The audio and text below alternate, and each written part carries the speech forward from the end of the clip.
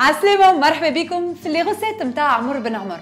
اليوم باش نشوفوا وصفة سهلة اللي هي المقارون السباغيتي عمر بن عمر اللي باش نديروها بالكالامار وبالحبار ديال ال calamar donc نظفت الكالامار نتاعي خليت الحبار على شيرة وتوا باش ننطلقوا في الوصفة نتاع المقرونة شنو نستحقوا أنا اخترت السباغيتي عمر بن عمر اخترت شوية كالامار الحبار نتاعو زيت العود معدنوس فلفل أكحل ملح شوية فلفل أحمر بصل ثوم وشوية كعبات فلفل مسير. أول حاجة باش نبدأو بها حطيت une casserole فيها de l'eau bouillante مالحة مي يغلي مالح وباش نحط فيها المكرون ديالي باش نخليه يطيب لمدة سبعة دقائق. هي على الباكو ديالو مكتوبة تسعة دقائق أنا باش نعطي سبعة دقائق في الماء. ودقيقتين هوني مع الكلامار ديالي.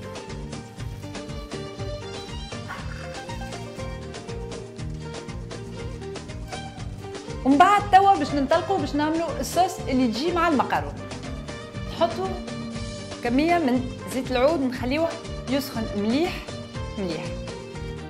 انتر طون باش ناخذ لي ونقصهم.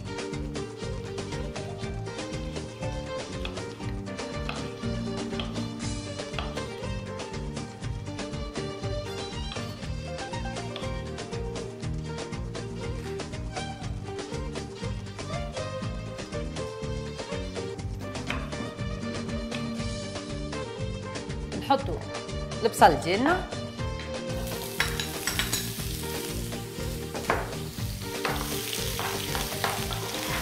كيما تشوفوا لازم النار تكون قوية.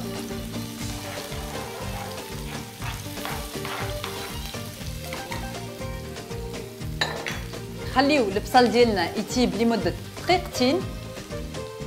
ومن بعد نحطوا له الكلامار ملح. فلفل اكحل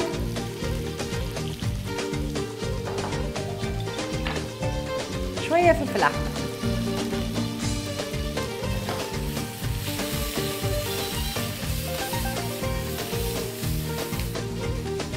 وتوا ناخذ الحبار ديال الكلامار باش نحطوا كمية هيك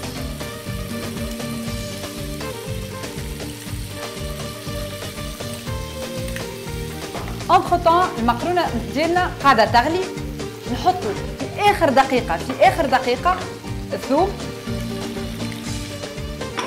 والفلفل ديما الثوم نحطوه في اخر دقيقه خاطر كي نحطوه من الأول يتحرق ويولي مر المقرونه ديالنا طابت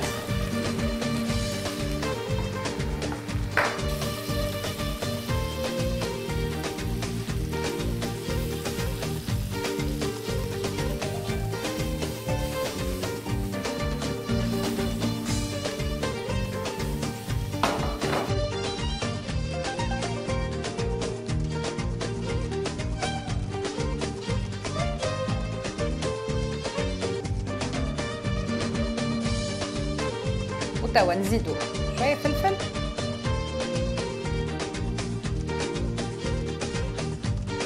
وهكا نكونوا درنا مكرونه عمر بن عمر بالكلامار بالحبار ديال الكلامار. شوية فلفل حاجة بنينة حاجة سهلة وحاجة في متناول الجميع. باي باي.